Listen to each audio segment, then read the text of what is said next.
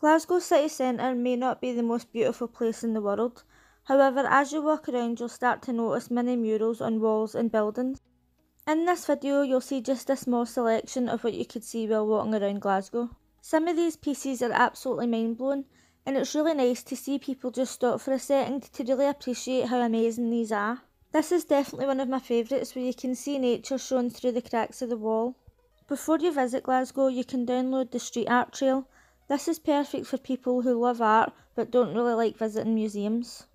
As I said, this is just a fraction of what you'll see while walking around Glasgow. There's actually hundreds of murals scattered around everywhere.